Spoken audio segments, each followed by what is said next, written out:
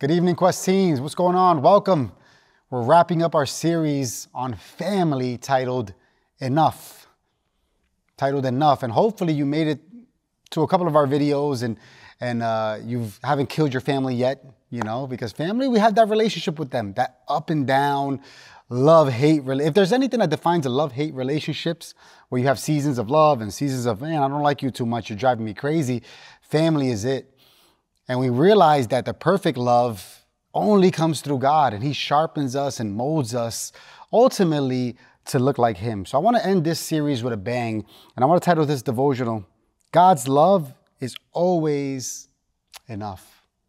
God's love is always enough. See, for the past couple weeks, past couple the past couple devotionals, we've been looking at the teaching of an early follower of Jesus named John.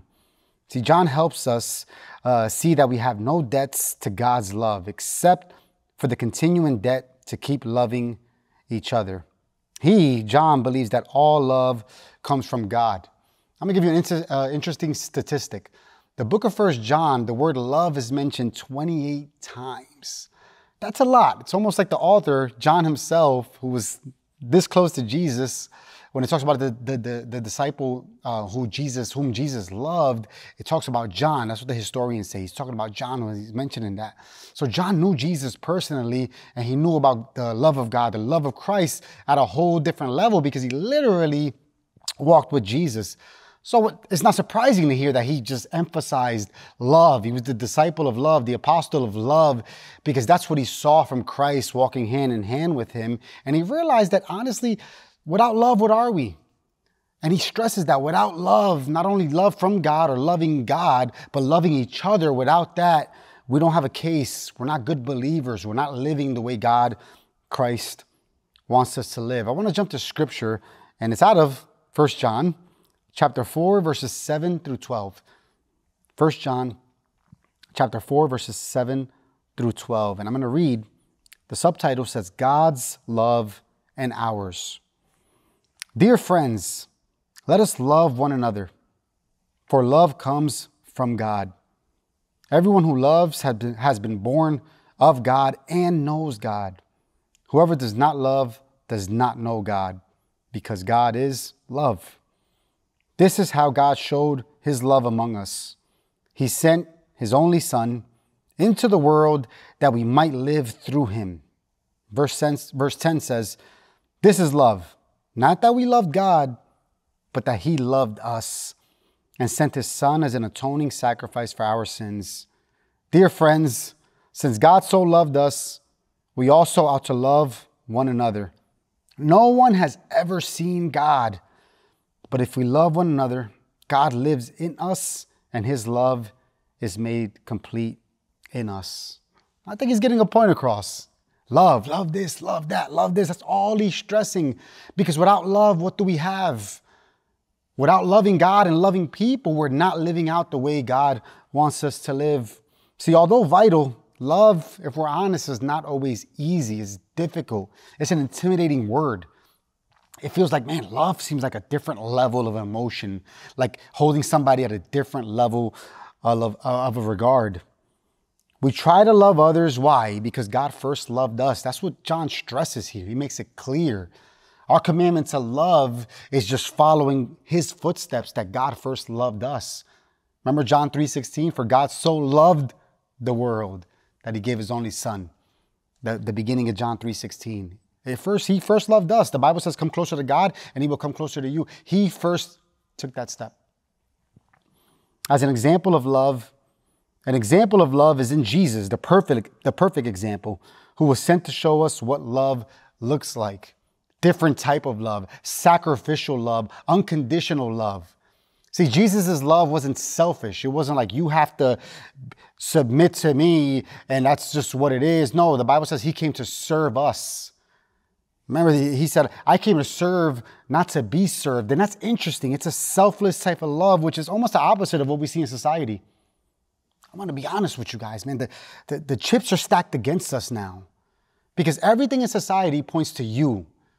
You have an Instagram, why? It's your page, your pictures, what you like, your thoughts, your opinions matters. Everything is about you, you, you. And unfortunately, when everything points to us, we think that everything is about us. And scripture lets us know, no, it's not, not everything is about you. It's about him. It's about God. It's about being selfless. It's loving others, even though sometimes they do things that make them not want to be loved. And if we're honest, sometimes we do things that you're like, man, how does God still love me? I just, I just, I just heard a saying, a quote the other day that it said that other people around you, some people are not gonna like you because of speculation of, of things that they heard about you. Some people don't like you, like you, and they don't even know you. They just speculate. They have these things in their head that, man, this person seems that way. They seem like they're this way. So they make up all these things in their head even before talking to you, and they make a judgment that they don't like you before even meeting you. Although people may speculate before they meet you that they don't like you, God loves you even though he knows the, even, even though he knows the facts about you. That blew my mind. Like God loves you and even though he knows us. And if we're honest, sometimes we do things that man, you wonder how God still holds on to us, how God's love is that great towards us, even though we sin, even though we fall short of his glory. And just like God forgave us and loves us, we're called to love and forgive others. That relationship is reciprocal. If we claim to love God, our attitude towards everyone, I highlighted that word there, our attitude towards everyone, including our families, should look like the love Jesus showed us. That's when it becomes difficult. It's easy to read, love this, love that, roses and flowers and purple and, and red hearts and the emojis and the little heart emojis and the smiley faces. It's easy to send that. It's easy to speak a good game, but it's really hard when somebody does something that you don't like when something bothers you, when somebody betrays your trust, when people fall short of your expectations of them, and you still got to love them because God still loved you, even though we fell short of his expectations. And it's crazy. And I'm not doing this to beat you up, I'm doing this to make you smile. That God still loves us, even though we fall short of his glory.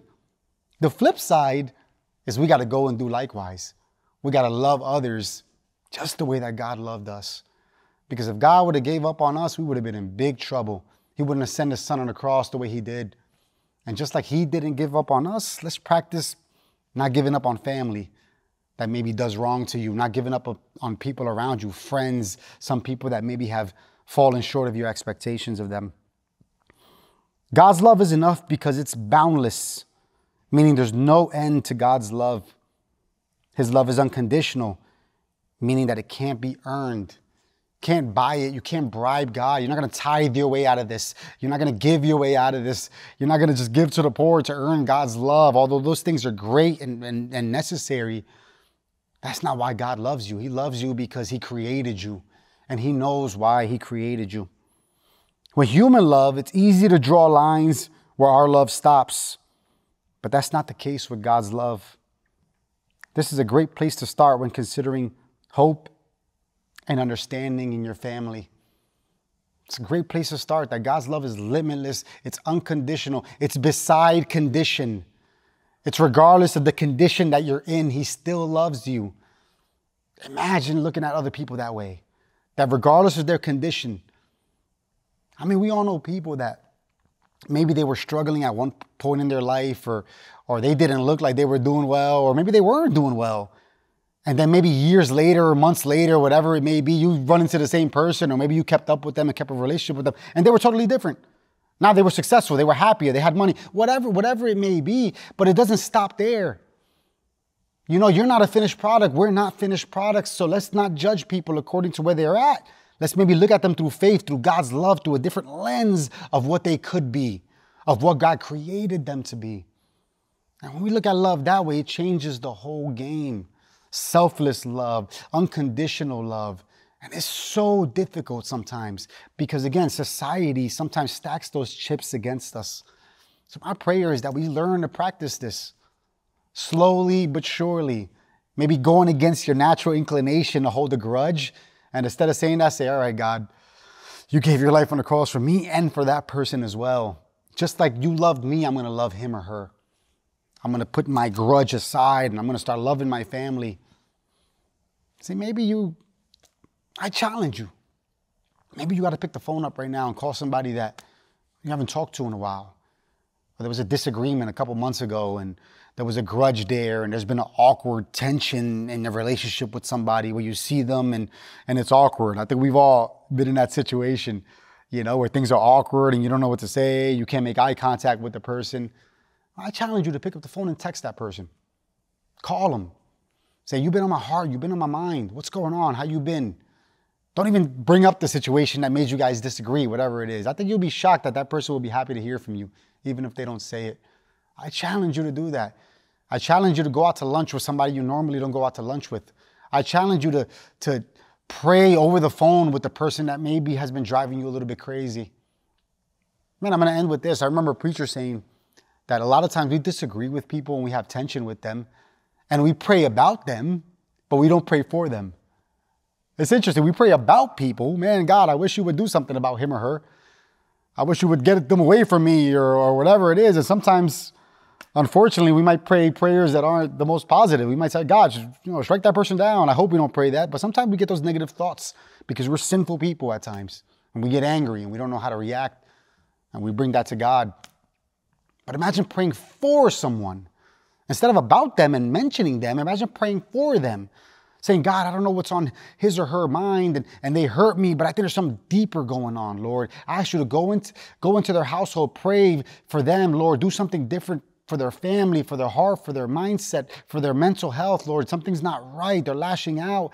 I pray, Lord, that you just help them to uplift them. I rebuke any spiritual strongholds against them. See, that's praying for them.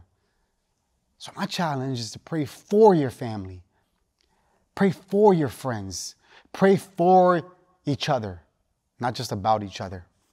Let me pray as you get this month and the week going off the right way.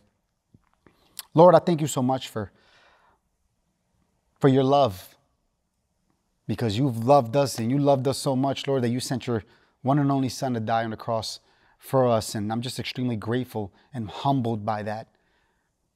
And just like you did that for us, we, we're called, Lord, to sacrifice for others, to put ourselves second.